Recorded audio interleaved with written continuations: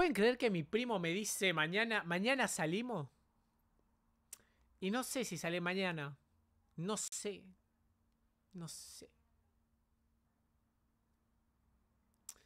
Salgo y me voy con las chicas traviesas, las malas, las mal portadas.